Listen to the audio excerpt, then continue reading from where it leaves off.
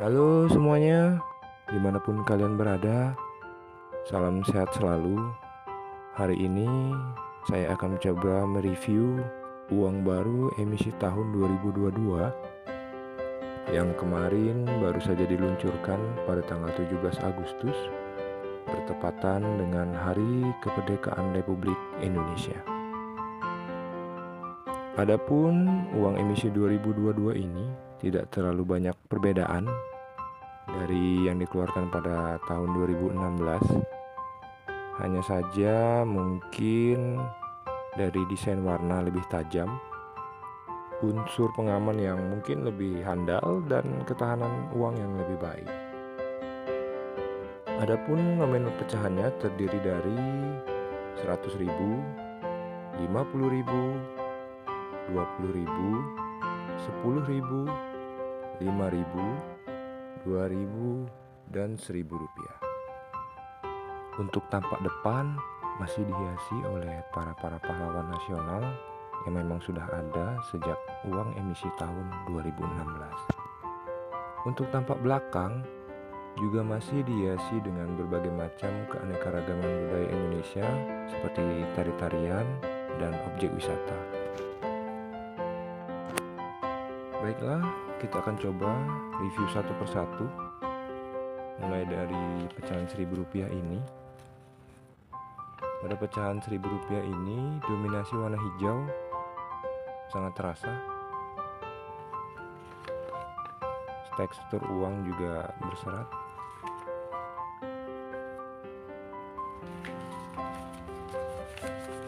Jika kita bandingkan dengan uang seribuan yang lama ini lebih pendek.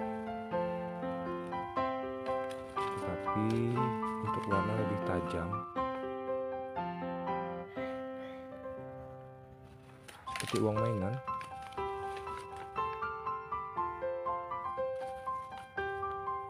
Masih terdapat foto pahlawan Cut Nyadin bunga cempaka. Kemudian ada tari Tifa yang berasal dari Papua kemudian Banda Nera dari Maluku. Untuk pecahan 2000 rupiah didominasi oleh warna abu-abu masih dengan pahlawan Muhammad Husni Tamrin ada bunga cempaka kemudian di bagian belakang juga masih dengan tari piring dari Sumatera Barat dan Ngaresianok dari Sumatera Barat juga.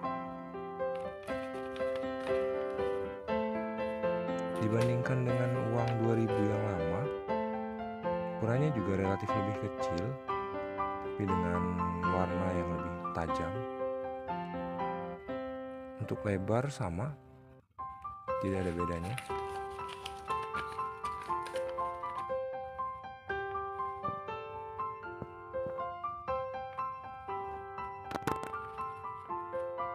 Oke. Untuk warna terasa sangat berbeda ya. Baik. Kita lanjut ke pecahan 5000 rupiah yang didominasi warna orange. Tetap dengan berserat teksturnya. Di belakang tetap ada tari gambiong dari Jawa Tengah dan juga pemandangan Gunung Bromo. Pada bagian depan, Kiai Haji Ah Idam Holid, sang pahlawan dari Kalimantan Selatan. Untuk ukuran tetap lebih kecil ya dari emisi tahun 2016. Untuk lebar sama. Dari segi warna sangat berbeda. Emisi yang baru ini terlihat lebih tajam dan lebih menarik.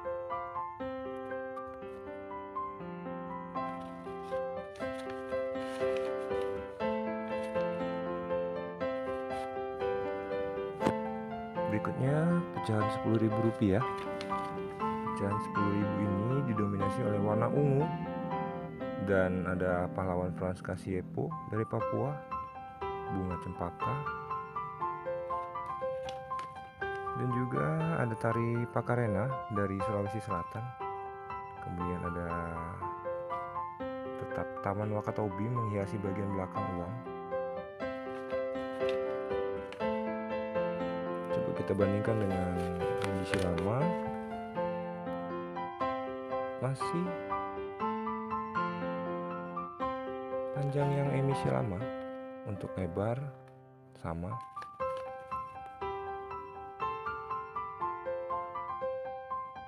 Oke. Pada bagian belakang juga untuk warna. Uang emisi baru lebih tajam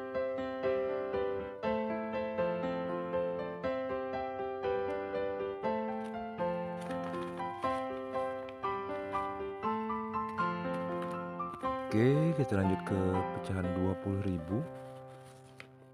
yang didominasi oleh warna hijau dengan Dr. Sam Ratulani sebagai penghias bagian depan. Logo bunga cempaka dan tekstur yang berserat. Pada bagian belakang tetap dihiasi dengan tari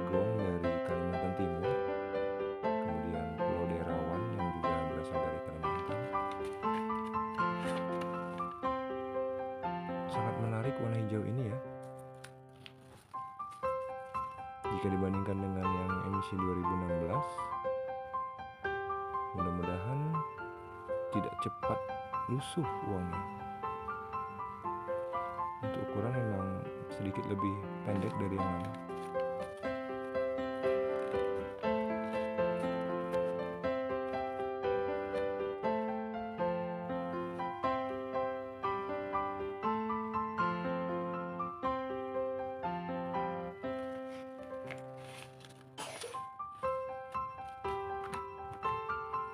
Kita lanjut ke pecah 50.000. Di sini Juanda Kartawijaya sebagai penghias bagian depan, pahlawan dari Jawa Timur. Teksturnya juga berserat dan ada logo bunga cempaka di dalam BI. Kemudian ada tari legong menghiasi bagian belakang yang berasal dari Bali dan Taman Nasional Komodo juga tetap menghiasi bagian belakang. Jika dibandingkan dengan pecahan yang lama, untuk panjangnya selisihnya tidak terlalu jauh.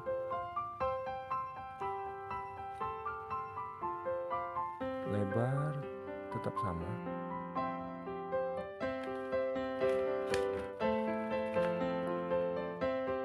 Warna juga pada bagian belakang tidak terlalu berbeda. Baiklah, terakhir pecahan 100 ribu.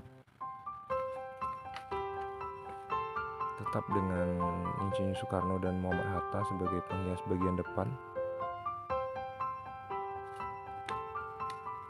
Orang yang proklamirkan kemerdekaan RI 17 Agustus 1945 bagian belakang ada tari topeng berasal dari DKI Jakarta dan juga Pulau Raja Empat yang berada di Papua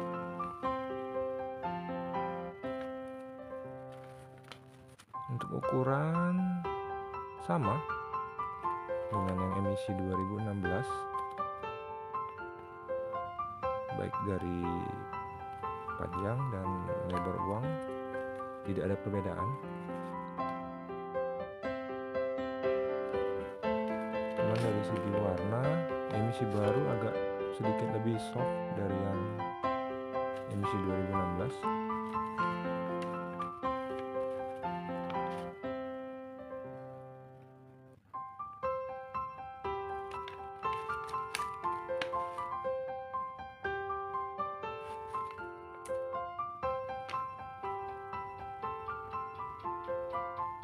Oke, demikianlah review singkat saya terkait uang emisi 2022 yang terbaru. Semoga menambah pengetahuan dan informasi bagi teman-teman semua. Jika kalian suka dengan video ini, silahkan like dan subscribe ya teman-teman. Sampai ketemu lagi di video selanjutnya. Bye.